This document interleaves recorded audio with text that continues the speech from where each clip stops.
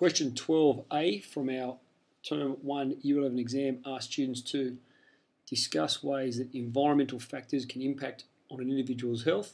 The question was worth four marks. The key parts of the question here we're looking at is obviously the key term being discussed, environmental factors, and the impact that some of these environmental factors can have on an individual's health. If we just go to our syllabus and have a quick look at our syllabus, what we'll notice here is under the, the point of the determinants of health, we'll notice down here it actually mentions environmental factors. The examples being geographical location, access to health services, and access to technology. So to get four marks, students were required to talk about environmental factors, including these three. They're the three they need to talk about and the impact that they have on someone's health. Got a couple of sample answers here for you. First one here says discuss again the question discuss ways that environmental factors can impact on the individual's health. Environmental factors such as location, access to health services, and access to technology. They've already been mentioned there. Location, access to health services, and access to technology. There's the three. We go back to our syllabus, geographical location, access to health services, and technology. They've been set out well. Location, geographical location here, it's been underlined.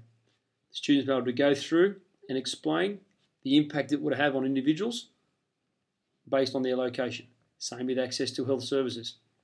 May affect, affect those in rural areas by having to travel hundreds of kilometres to see a doctor. It's going to have an impact. Put them at risk of bad health in some dimensions. Access to technology, depending on the environment. Rural areas may put them at risk of not having the acquired knowledge to sustain good health. So again, we've covered the three areas here, and we've linked it to the question, which is saying the impact they have on an individual's health. Have a look at a second answer here. The difference, the first thing I notice the difference between the two is, if you, if you look at this one, and you compare it to the one beforehand, is that this is the one we looked at first of all. It's underlined, so it stands out, and it's much easier. I know exactly what I'm looking at person on this one, for example, hasn't really underlined it as well as we'd like, or even at all, but it's still got the three areas in there, and I think they're, I've scanned them. I think they've been written in red, which is why they stand out a little bit more. But again, geographical location, access to health, access to technology, the three areas that the, the syllabus required us to talk about, and how they impact on an individual's health. So that's what that's what students needed to do.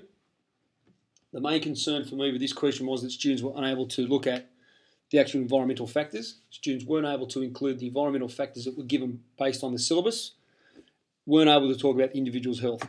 Okay, so for four marks, I was looking for three of the factors there which were listed from the syllabus, which we all should have known before the exam. Students need to include them in the answer, so geographical location, so what it is, and how can it impact on individual's health. That's what students failed to do. Um, the other concern would be the setting out, whether it's written in red or whether it's underlined as the example shows over here we need to make sure that we present our answer or the elements of our answer we want to really stand out in a way that the marker will be able to see them. So that was my other concern I had. So that was question 12a.